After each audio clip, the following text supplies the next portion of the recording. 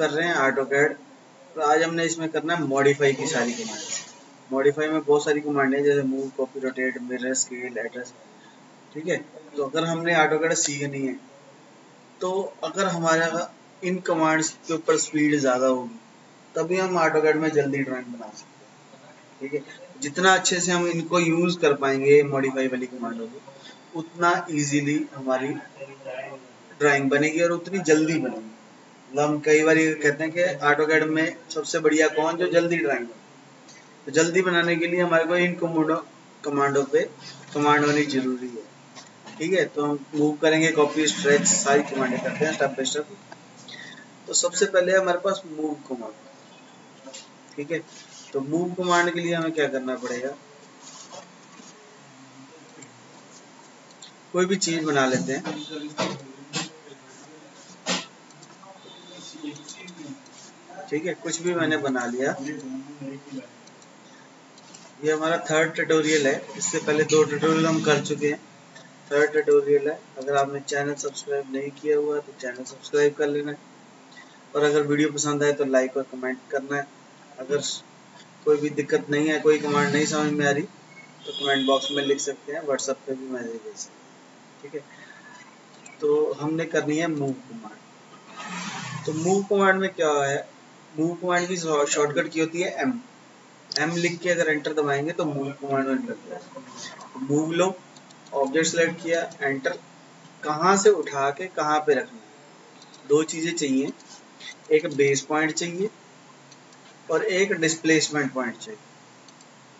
भाई, किस कमांड को कहाँ से उठा के कहाँ पे ठीक है? मूव कमांड ली ऑब्जेक्ट सेलेक्ट किया मूव ऑब्जेक्ट सेलेक्ट एंटर और जो बेस पॉइंट उठा लेंगे, वहीं पे रखा जाएगा ठीक है? इसमें एक और खासियत भी है। अगर मैं ऑर्थो ऑन कर लेता हूँ। ऑर्थो मैंने ऑन कर दिया। और फिर मैं मूव कमांड लेता हूँ। तो मैं बेस पॉइंट देने के बाद डायरेक्शन में वैल्यू भी भर सकता हूँ। पॉइंट क्लिक करने की बजाय। मैं वैल्यू भर सकता हूँ कि 50 मूव करना है ठीक है? तो जिस डायरेक्शन में भी मूव करना है, उस डायरेक्शन में मैं वैल्यू भर सकता हूँ कि मुझे ऊपर को कितना जाना है। मैं कहा जी 50 जाना तो ऑर्थो ऑन होगा तो इजीली मूव हो जाएगा। ठीक है? एक और चीज़ भी हम कर सकते हैं। यहाँ पे हमारे पास होता है पोलर ट्रैकिंग पोलर ट्रैकिंग का मतलब ये है कि हम यहाँ पे एंगल सिलेक्ट कर सकते हैं। दस डिग्री, पंद्रह डिग्री, बीस डिग्री, तीस डिग्री। तो पोलर ट्रैकिंग कर पोलर ट्रैकिंग कहते हैं इसको। ठीक है? तो मूव के लिए पोलर ट्रैकिंग में बता रहा था। पोलर ट्रैकिंग में क्या है? हमने मान लो सपोज़ करो दस डिग्री कर तो अब क्या है? ये लाइन जो है वो ट्रैक करने लग जाएगी दस डिग्री में। दस डिग्री पे, बीस डिग्री पे, तीस डिग्री पे, चालीस डिग्री पे। तो ये हम किसी भी डिग्री पे लाइन लगा सकते अब मूव में क्या फ़ायदा है? मूव में मान लो मेरे पास ये लाइन नहीं है और मैंने यहाँ पे एक सर्कल बना रखा है, छोटा सा, और मुझे इसको 10 डिग्री पे मूव करना है। ठीक है? 10 डिग्री पे मूव करना है और 50 डिस्टेंस पे करना है। तो क्या करेंगे? मूव लेंगे object select enter base point के बाद कितने डिग्री पे चाहिए? मैं कहा जी 40 डिग्री पे चाहिए, और वैल्यू कितनी होनी चाहिए? मैं कहा जी 50 तो ये 40 डिग्री पे मूव हुआ है 50 डिस्टेंस के साथ। ठीक है? यानी हमने डिस्टेंस भी दिया है और एंगल भी दिया है और वो भी मूव के अंदर। ठीक है? पोलर ट्रैकिंग की शॉर्टकट की होती है F10 तो यहाँ पे हम जितने डिग्री कर देंगे 10 डिग्री 15 डिग्री 40 डिग्री 30 डिग्री, उतने उतने डिग्री पे ट्रैक होने लग जाएगा।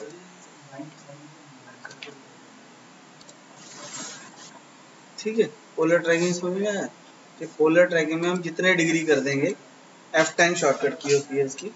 तो पोलर ट्रैकिंग में जितने डिग्री कर देंगे, उतने डिग्री पे लाइन लग जाएगी। अगर हम ट्रैकिंग सेटिंग में जाएँगे तो यहाँ पे मैं एडिशनल एंगल भी दे सकता हूँ, जो इनमें अवेलेबल नहीं है।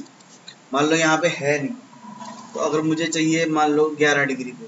मैं यहाँ पे न्यू करके 11 डिग्री कर दूँगा। तो ओके करेंगे तो यहाँ पे देखो 11 डिग्री भी आ गई तो मैं 11 डिग्री सेलेक्ट कर सकता हूँ। तो अब जो ट्रैकिंग आएगी वो ज़ीरो पे।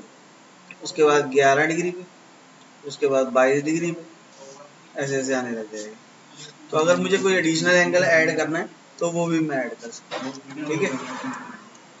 तो हम मूव कमांड कर रहे थे मूव कमांड की शॉर्टकट की है एम और पोलर ट्रैकिंग की शॉर्टकट की है एफ़ टैप ठीक है? तो मूव लिया ऑब्जेक्ट सेलेक्ट किया एंटर कहाँ से उठा के, कहाँ पे रखना एक चीज़ का ध्यान रखना है कि अगर मैंने मूव करते हुए दूर कोई पॉइंट ले लिया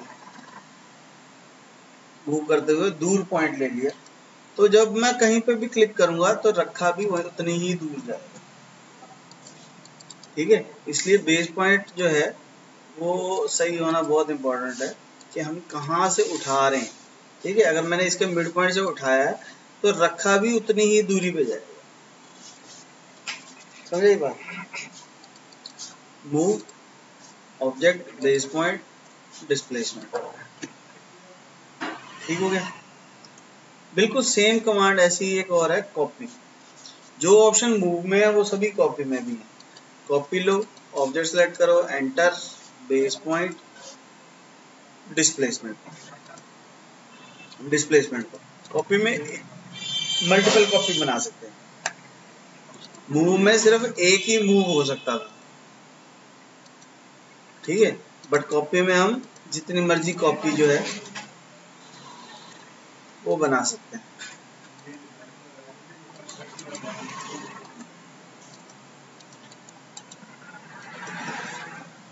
ठीक है? तो मूव समझ में आ गया कॉपी में समझ में आ गया। कॉपी की शॉर्टकट की होती है सीओ सीओ लिख के एंटर करेंगे तो कॉपी होने लगेगी।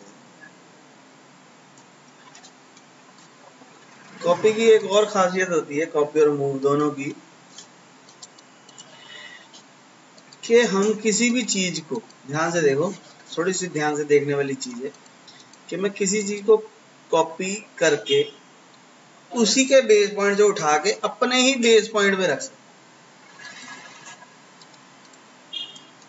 बूम में ज़्यादा अच्छे से समझ आएगा। तो बूम लिया ऑब्जेक्ट सेलेक्ट किया। कि मैंने अपना ही बेस पॉइंट उठा के अपने ही बेस पॉइंट पे डिस्प्लेसमेंट पे तो अब आगे ये एग्जैक्टली जितनी इस लाइन की लेंथ है, उतना ऊपर तो मुझे मापने की ज़रूरत नहीं पड़ेगी। ठीक है? समझ में आया बात? तो मूव मार लेंगे इसको वापस अपनी जगह पे ले आते हैं। आँखें खोल के रखना है, गलत पॉइंट पे क्लिक कर दिया तो गलत ही होगा।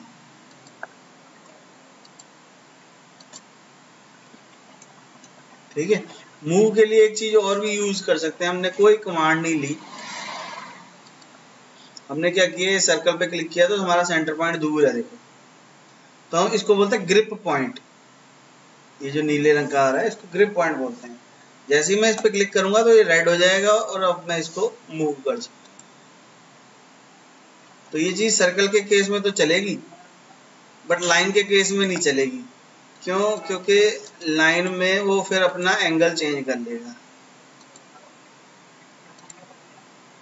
अगर लाइन को करना है तो सेंटर पॉइंट से हो सकता है तो अगर सेंटर पॉइंट से करेंगे तो कोई प्रॉब्लम नहीं ठीक है? ऐसे ही जो अगर हमने एक्सटेंशन लाइन ऑन करी हुई है, और मैं इस पॉइंट को पकड़ के देखो, आगे ट्रैक कर सकता हूँ। इसको ट्रिम करना है तो इसको मैं ऐसे ट्रिम भी कर सकता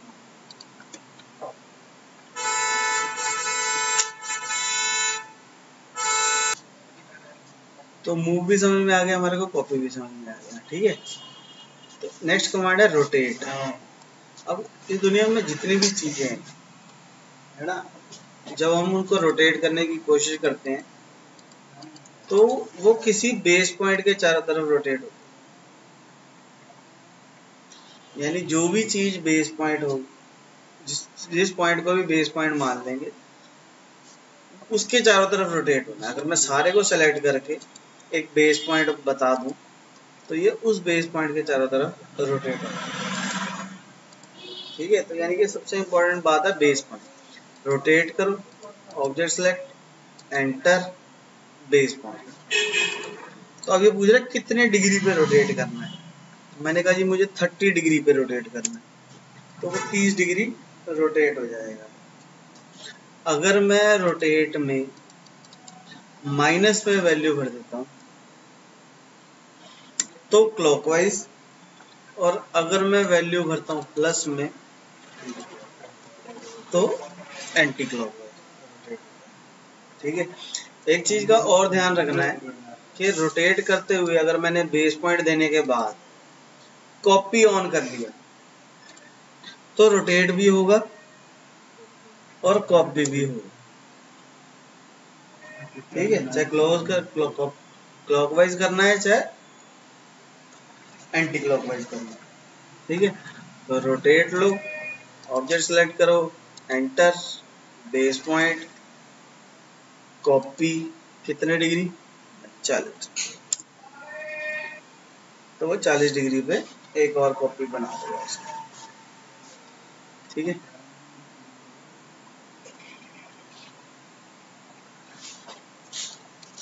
रोटेट कमांड थी रोटेट की शॉर्टकट की होती है आर ओ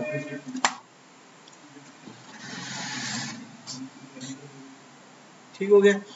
नेक्स्ट हमने कमांड जो करनी है, उसका नाम है मिरर मिरर की शॉर्टकट की होती है M I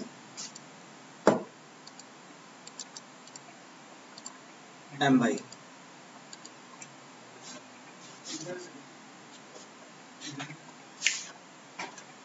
mirror command करने के लिए हमारे को चाहिए एक मिरर जिसके अलोंग मुझे मिरर करना है। तो हमने क्या किया? मिरर कमांड ली ऑब्जेक्ट सेलेक्ट किया एंटर किया और दो पॉइंट बताए। एक पॉइंट ये एक पॉइंट ये तो दोनों पॉइंटों के अकॉर्डिंग मिरर हो जाएगा। है? दोबारा करते हैं कि हमने क्या कहा? मिरर करना चाहते हैं, इसको एंटर और दो पॉइंट बताने एक पॉइंट ये एक पॉइंट ठीक है? अगर जो मेरी मिरर लाइन है, वो किसी एंगल पे हो मिरर ऑब्जेक्ट सेलेक्ट एंटर एक पॉइंट ए एक पॉइंट तो एंगल पे मिरर यानी मिरर लाइन के ऊपर डिपेंड करता है कि हमारी मिरर लाइन कैसी है, उसके अकॉर्डिंग मिरर होगा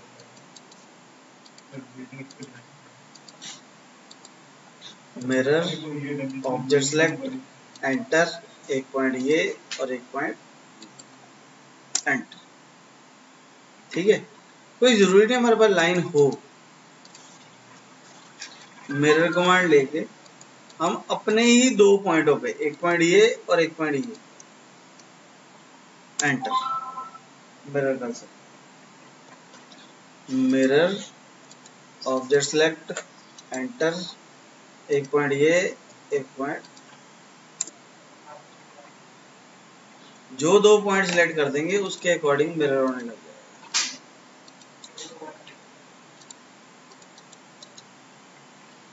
ठीक हो गया? कोई ज़रूरी नहीं है, हमारे पास लाइन लगी हो। कोई दो पॉइंट भी हो सकते हैं। मिरर ऑब्जेक्ट सेलेक्ट एंटर एक पॉइंट इसका मिड पॉइंट और एक पॉइंट इसका। जो दो पॉइंट ले लेंगे, उनके अकॉर्डिंग मिरर हो जाएगा ऑब्जेक्ट सेलेक्ट एंटर एक पॉइंट ये और एक पॉइंट अब यहाँ पे लाइन नहीं थी। मैंने दो पॉइंट सिलेक्ट किए तो दो पॉइंट के अकॉर्डिंग मिरर हो जाए। कोई भी चीज़ है, उसको हम मिरर कर सकते हैं। मिरर ऑब्जेक्ट सेलेक्ट एंटर एक पॉइंट ये और एक पॉइंट ठीक है? इसमें एक और ऑप्शन भी होती है, अगर हम ध्यान से देखें तो कि जब हम मिरर कर रहे थे ऑब्जेक्ट सेलेक्ट किया एंटर दो पॉइंट देने के बाद, ये हमारे से पूछता है इरेज सोर्स ऑब्जेक्ट हम बाय डिफ़ॉल्ट एंटर मारते हैं तो नो हो जाता है। अगर हम यस कर देंगे तो इधर वाला मिट जाएगा और इधर आ जाएगा।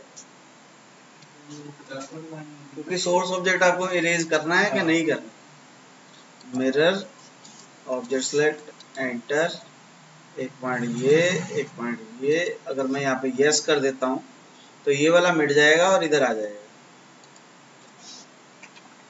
ठीक है? तो ये थी मिरर कमांड ठीक है? मूव भी हो गई हमारे को कॉपी भी हो गई रोटेट भी हो गई मिरर भी हो गई। ठीक है? नेक्स्ट हमने जो करनी है कमांड वो है stretch scale trim fillet chamfer array erase explode offset ठीक है? ये कमांड हम नेक्स्ट ट्यूटोरियल में करते हैं। वीडियो बहुत लंबी हो रही है, इसलिए नेक्स्ट ट्यूटोरियल में हम ये कमांडें सीखते हैं स्ट्रेच स्केल एरे ठीक है? तो अभी हमारी मूव कॉपी रोटेट मिरर हो गई है। अगर वीडियो पसंद आए तो लाइक करना है सब्सक्राइब कर लो ताकि नेक्स्ट ट्यूटोरियल का लिंक आपको मिल जाए। कोई दिक्कत आ रही है इन कमांडों में तो व्हाट्सअप कर सकते हैं कमेंट बॉक्स में भी लिख सकते हैं।